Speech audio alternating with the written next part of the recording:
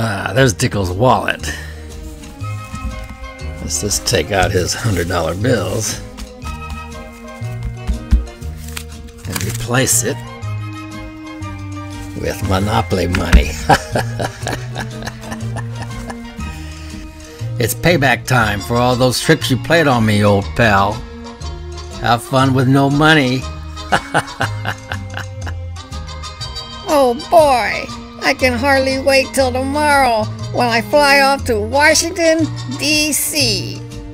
Maybe Trump will appoint me to a cabinet post. Washington needs an Aflockett after the last eight years. Mr. Trump even reserved me a room in his D.C. International Hotel. And I have money to spend too, thanks to the reward for the IRS scammer. I'm in the dough. Watch out, America! Mr. F. Lockett goes to Washington.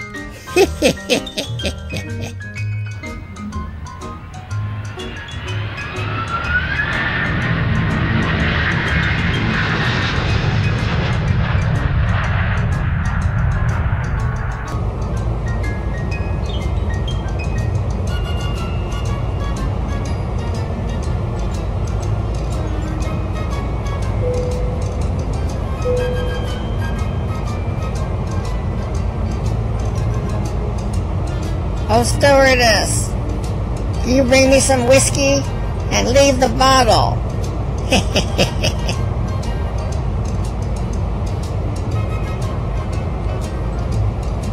oh, look, there's the Capitol. There's Trump's new house. Man, this is gonna be great. Flight 10 please prepare the camp for.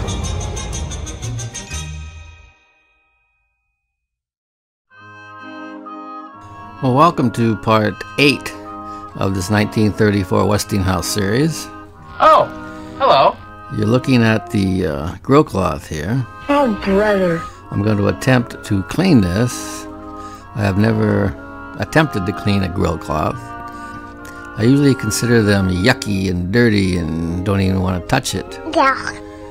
But uh, I'm going to try my hand on it. Now, this particular grill cloth is held in here by they got this wood strip. There's one here up here down here down here. And there's a groove in the board and they just shove this wood piece here down in there to hold it in there. It's more like a screen door type thing. And I dispatched wifey out this morning. Oh, hello, dear to buy me some upholstery cleaner. I didn't know what kind. I just said get some upholstery cleaner that you just spray on, let it dry in a vacuum. And we've got the Woolite carpet and upholstery cleaner. It comes with a little brush here. So we're to try that. If it doesn't work, no big deal. It's no skin off my nose. I'd rather replace it anyway, but just for entertainment purposes, mind you, let's see if we can clean this. I might surprise myself and it might work and we'll keep it. I'm to take it outside at the front door here and then blow it off so all the dust goes outside. So once I get it blown off pretty good, then uh, we'll try that uh, solution.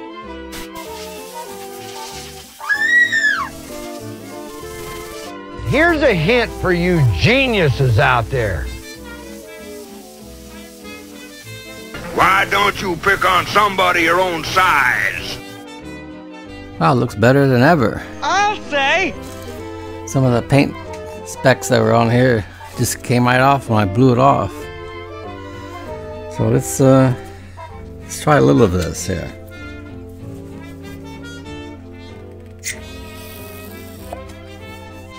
What I am about to show you next may shock and educate you.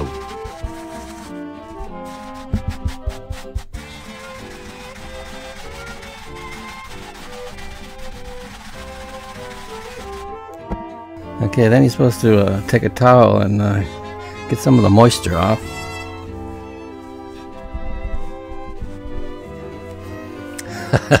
oh, brother. casa. Well, there goes that. As you can see, it's very delicate here, so here goes that plan. I like it when a plan just falls apart. Just for grins, let's, uh, let's try some more over here.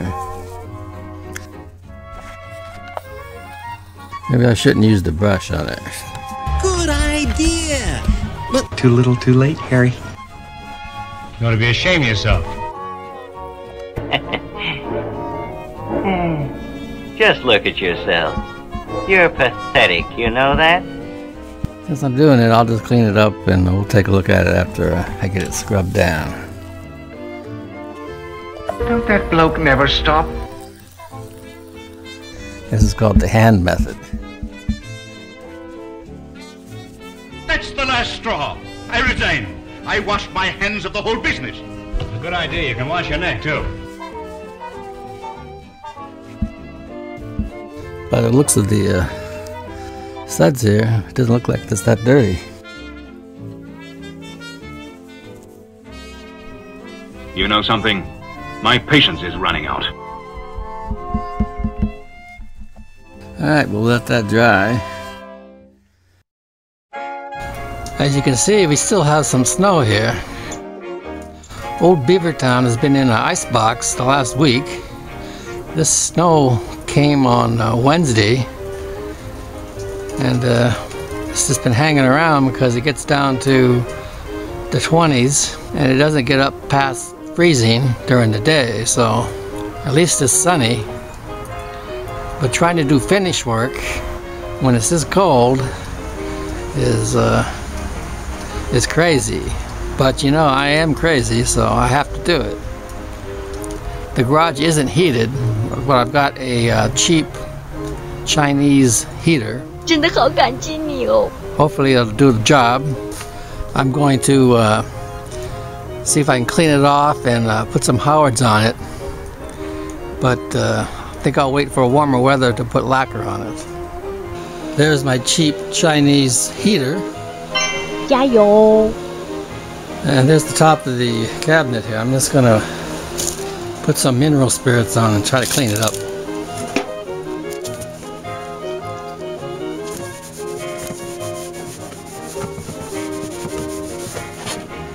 not too bad Be a wonderful bargain.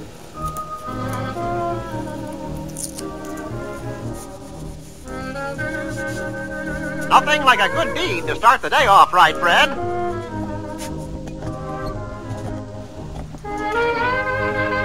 Well, there it is after a mineral spirit bath.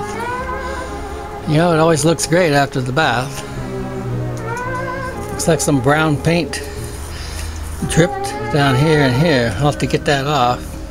But we'll let that dry and I'll probably do the uh, Howards tomorrow. Maybe it'll warm up a little bit. Not again. I decided to do a second coat just for future reference. Because once I took all the, uh, the suds off, it looked pretty good. What's the matter with you? And it's kind of fun doing this. Does all this turn you on?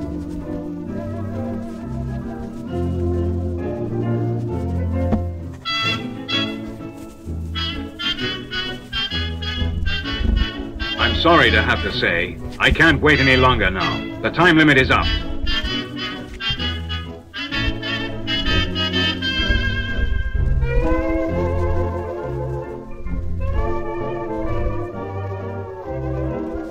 You see, it did brighten it up quite a bit. I wonder if that part will show. Well, here's some lost footage that I took uh, last year and I forgot to put it in my video. Here I am soaking uh, the tuning condenser in one of the cans in Evaporust. Now there was a little bit of rust on the uh, tuning condenser, but it was a big mistake. As you can see, it's a greenish yellow haze on the steel there. Can you see it? As I was rinsing it off, I looked at it and said, man, this is going to take a lot of work to get this crap off. So old Buzz has learned his lesson well. Use naval jelly and water. It works great.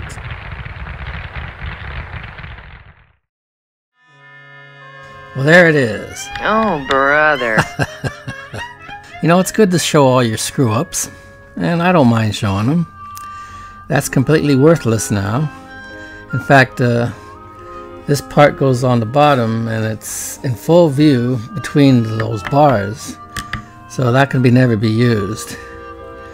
But I think I was screwed from the beginning here because underneath this this board here, the uh, the wood is stained.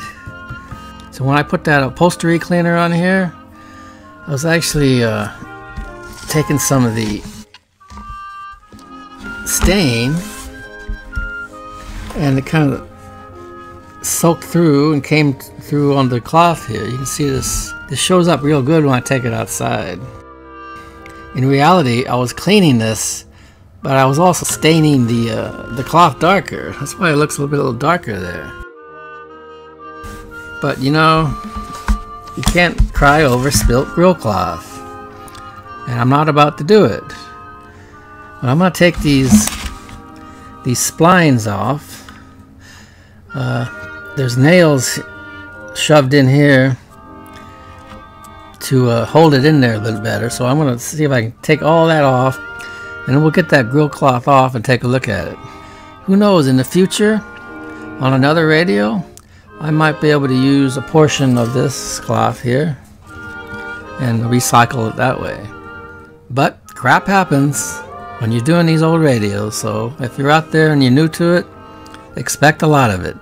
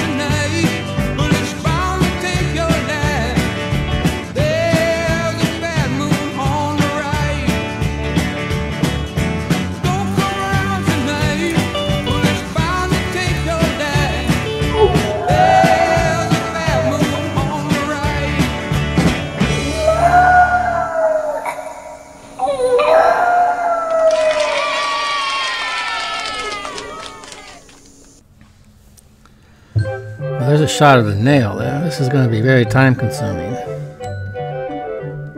But I'm going to do this off camera. There must be about 20 of them all the way around. So let me uh, take these off and we'll show you what it looks like. Let's just uh, try to pull these out and see what it looks like. These uh, look like some type of a plant or branch or something. Let's just pull this one out here.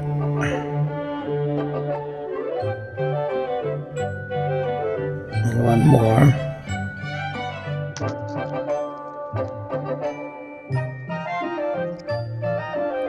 See what's underneath here. There's, uh, you notice it's not glued. And if you notice on here, this wood here was, was stained. That's why it soaked through on the cloth.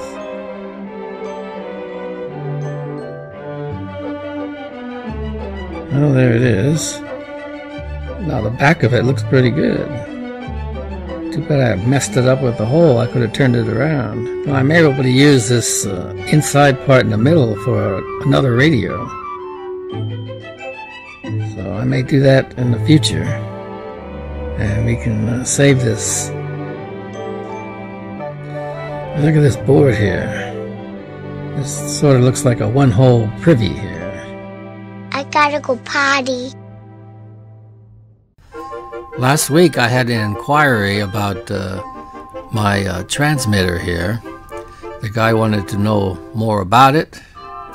So I'm going to have a little segment here devoted to my uh, transmitter. There it is. This is made by SSTran and the model is AMT 3000. Now I forgot how long I've had it, so I had to look it up. I bought this in March of uh, 2013, so it's almost four years old. And I use it almost every day. I bought this as a kit. Uh, the uh, This one has a power switch, because I put that in there myself. I like to be able to switch things on and off. Otherwise you have to unplug the power on the back. But here it is. I dug up a couple of pictures of what it looked like when I first bought it in 2013. Here's the kit that it comes with. You can see all the components, and it's uh, it's fun to just put it together. All you need is a soldering iron and some solder. And uh, when I first plugged it in and uh, tested it, it worked right away. This has got your gain control here, your modulation, and your compression. I really just set these uh, these two here, the modulation and compression about halfway up. And the gain, depending on how close the radio is, uh, I can put it up or down. Now the rear of it, you got your antenna ground. I've got like a six, I think it's a six meter antenna it comes with, and you're not supposed to use anything longer than six meters, or the uh, the FCC will come get you. but six feet is plenty. I mean, this uh, this will transmit to my garage, uh, to my bathroom, to any room in the house.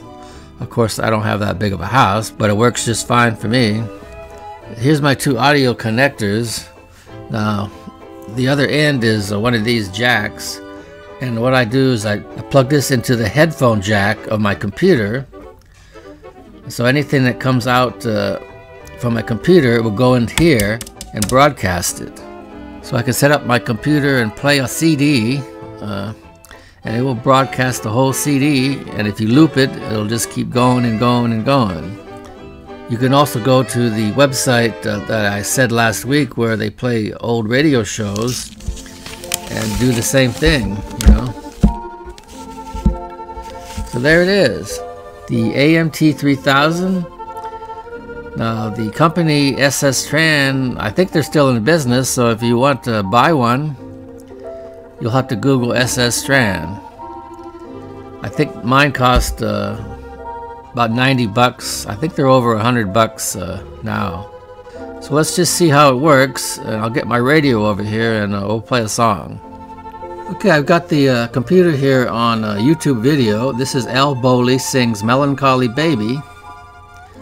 Uh, what I'm going to do is, all I do is plug in the audio cord here that goes to the transmitter into the earphone jack here and this will transmit uh, the song here. So let's just start this.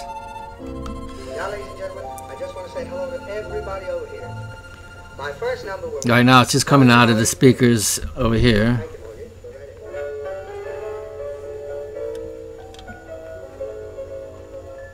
Come to me, my melancholy babe. So we'll plug this in. Collie babe. There it is. Just cuddle up and don't be blue. Here's the gain control. Foolish fancy made. Modulation. You know, honey, I'm in love with you. Compression. Every cloud must have its silver lining. So wait until that sun shines. Smile, my honey dear, while I kiss away each tear, or else I shall be melancholy too. Come, sweetheart mine, don't sit and pine. Tell me of the cares that make you feel so blue. I'm sorry, hon. What have I done? Have I ever said an unkind word to you? My love is true, and just for you, I'll do almost anything at any time. Dear, when you sigh or when you cry, something seems to grip this very heart of mine. Come to me, my melancholy baby. Just cuddle up and don't be blue. All your fears are foolish fancy, maybe. Why, you know, honey, I'm in love with you. Every cloud must have its silver lining. Oh, so wait until that sun shines through.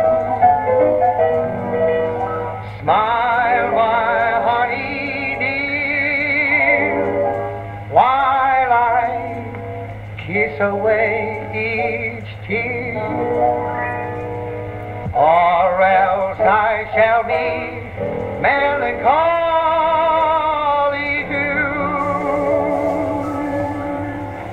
Thank you very much. Isn't that great? Great transmitter. Now you can uh, build your own using tubes or you can buy the kit. I bought the kit. This is Buzz. I hope you enjoyed the video. We'll see you next time. Ah, bless ye, lad. And now I must be away.